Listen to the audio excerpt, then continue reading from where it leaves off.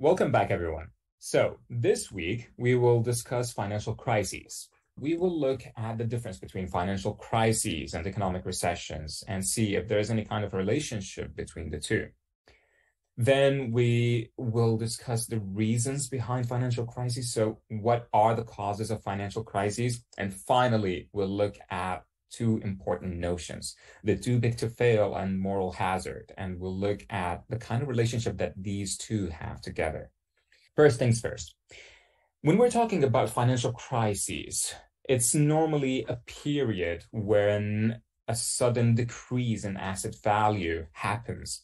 And because of that, this sudden decrease in asset fa- value leads financial institutions to encounter particular challenges. These challenges are related to them being able to meet their obligations.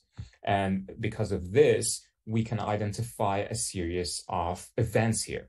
So the very first pattern is that we have a period of growth. This growth is normally facilitated by increased access to, to borrowing. And then after this period of growth, we have a sudden fall in the value of assets. And because of this sudden fall of the value of assets, we have an, a decrease in, in, in borrowing. And so, because of this, we encounter a financial crisis. On the other hand, if we look at economic recession has different different indicators to it. So basically, we look at the GDP, and the GDP here is a low GDP. So the indicators are very low. We experience a period of low liquidity.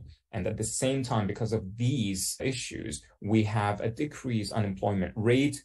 And of course, this will be accompanied by lower production levels and as well lower, lower levels in terms of living standards. And at the same time, we will likely have a higher inflation rate. But it is important to look at what causes economic recession.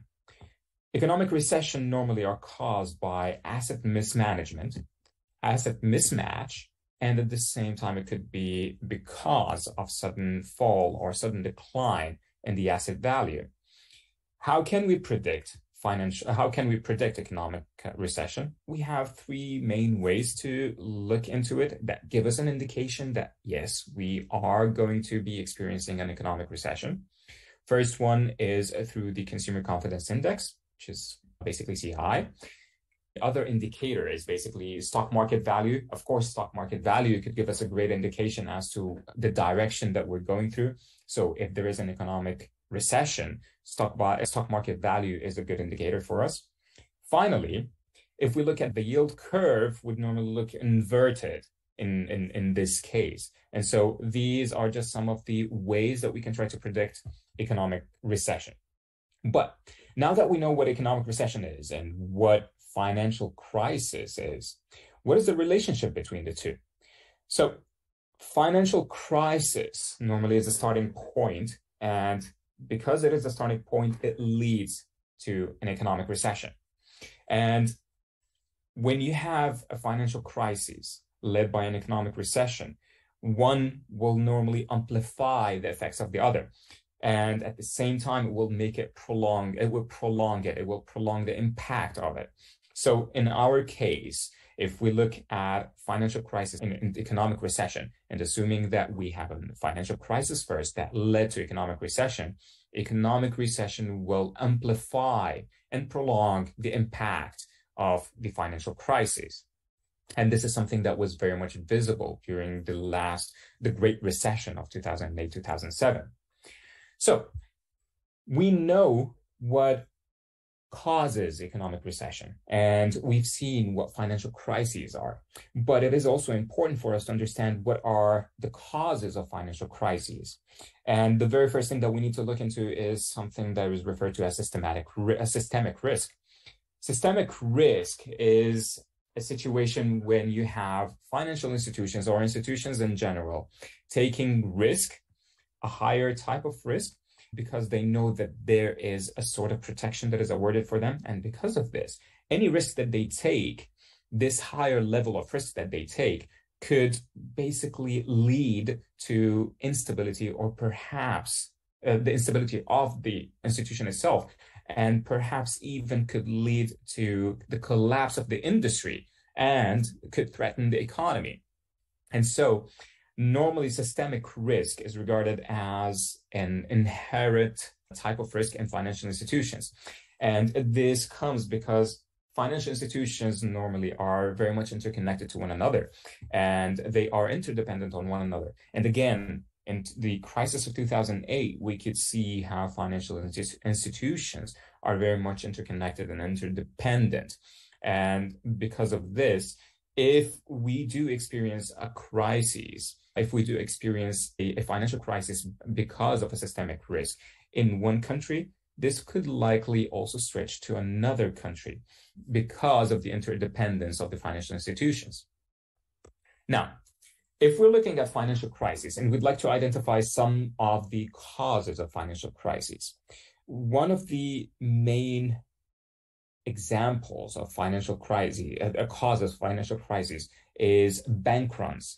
Bank runs are normally when you have depositors, a, a, group of depositors all going at once, trying to deposit, trying to withdraw their deposits from the financial institutions where they've deposited their money at. And basically, this indicates that these deposit, depositors have no trust anymore in the banking sector.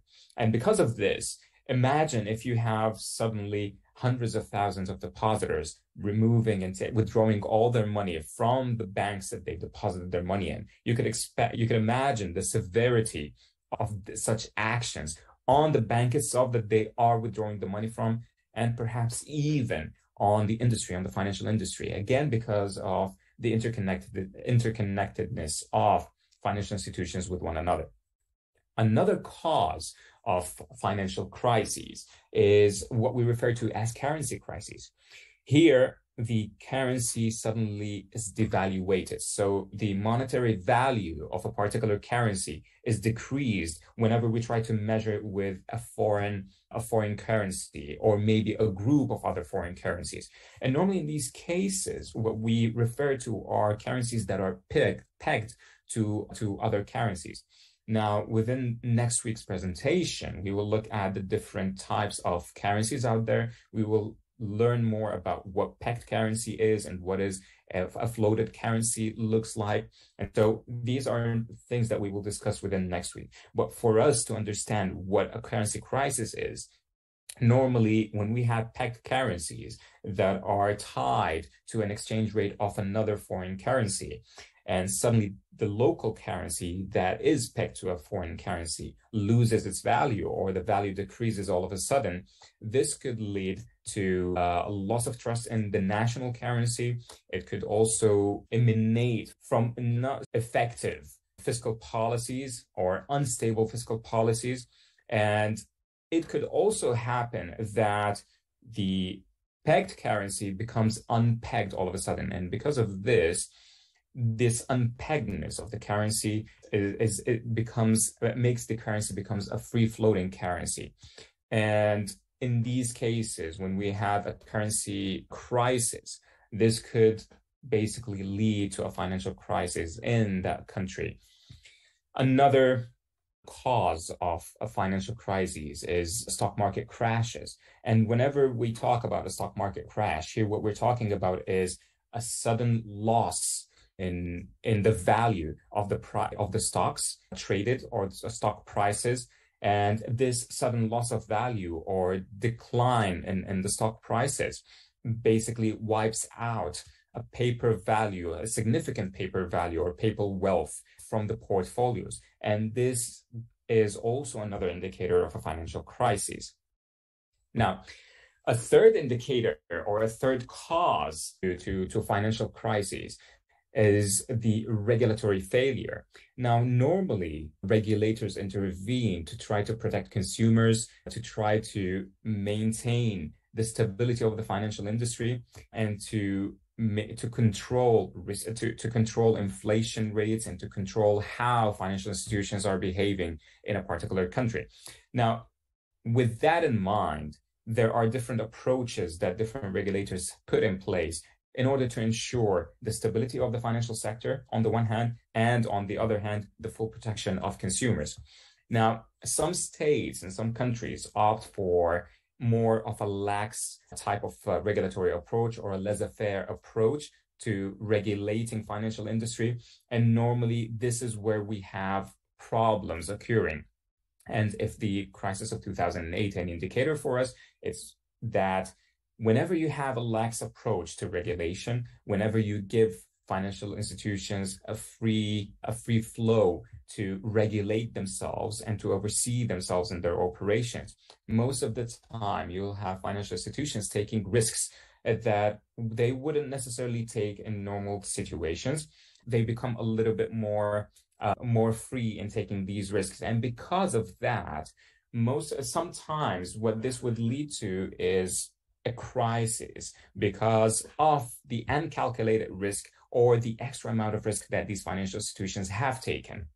So when you have a lax regulatory approach accompanied with perhaps a lack of government or proper government oversight, you will have financial institutions take trying to leverage their own to leverage themselves basically to capture gains and to capture some gains and even as we said take risks that they wouldn't necessarily take.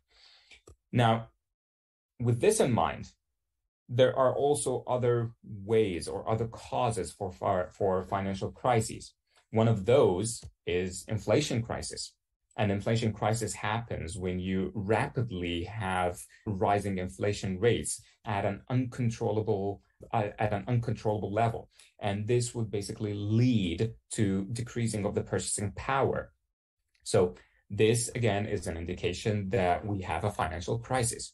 Another one or another another cause of a financial crisis is when you have sovereign debt crisis. And sovereign debt crisis is when a government or a state, a country basically is unable to meet its financial obligations towards the governments or financial institutions or other investors that it owes money to. So it is unable to repay the debt that it owes to these groups of investors. With the stock market crash, we've looked at stock market crash and we've seen how stock market crash could basically lead also to a financial crisis. Now, having seen the different causes of financial crises, there is an interesting notion that accompanies financial crises normally, and this is something that we've seen being coined in 2008. And this is the notion of the too big to fail, or the concept of too big to fail. And normally, the concept of too big to fail comes along with moral hazard. And so, what are these two different concepts? What is moral hazard, and what is too big to fail? Basically, if we're talking about moral hazard, here we're talking about financial institutions or institutions in general that decide to take on risks they wouldn't normally take. And the reason they do so is because they have the protection from the consequences associated with taking that particular risk. Such protection could come from a contractual obligation between them and between another party who is willing to insure them against these, these risks that they are taking. Now, here in this kind of relationship, we have one party that assumes a little more risk than the other. And so this party that is assuming risk is likely going to impact the second party who is insuring against that risk negatively. And so when we have moral hazard here, it comes as a result of post-contractual asymmetric of information. And a good example of that is if we are talking about borrowing and lending. So in the case of borrowing and lending, if a borrower defaults on paying their loans, what we have here is the fact that the borrowers think that if I default on my loan, that's absolutely okay because in the end, it will be covered the lender is going to bear all the losses and they will take charge of it. So there isn't any risk in that case for me as a borrower. So this is a, a situation where the actions of one party would negatively impact the second party. So Now that we know what moral hazard is, we are in a better position to understand what too big to fail is and what it entails. So the notion of too big to fail is basically when we allow larger institutions, when we try to protect large institutions from collapsing. So here, governments normally would bail out these large financial institutions, these large institutions, because if they would, if they were to collapse, their collapse could lead to a collapse of an industry at, in general. And so saving these institutions becomes much cheaper than allowing them to collapse. Because if they were to collapse they might lead to a collapse in an economy. So they might lead to a financial crisis or even lead to an economic recession. And so the say act of saving these institutions becomes a necessity if we are then talking about the relationship between financial institutions and the the too big to fail notion or concept here we can see that when we have large financial institutions that normally take risk that they wouldn't take, they do this because they know that the government will come, it will intervene, and it will try to save them and protect them. Now, the government, uh, the, the protection that is awarded by governments are normally emanating from taxpayers' money. So that whatever, whatever kind of bailing out or bailout agreement that would be drawn out between the government and between the collapsing institution, it would be done and facilitated through the taxpayers' money. And what we can see here, we can see a direct relationship between the too big to fail notion and the moral hazard concept.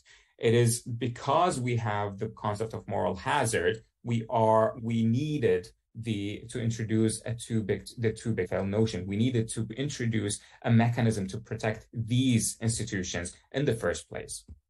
So, with this in mind, the homework for us to do for this week is to try to make a little bit of a research and figure out whether too big to fail concept is also applied beyond financial institutions. Do you think that too big to fail concept is only limited to financial institutions, or does it also extend beyond the financial industry and the financial sector?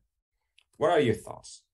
With this, I'll leave you to do your homework and I'll see you next week.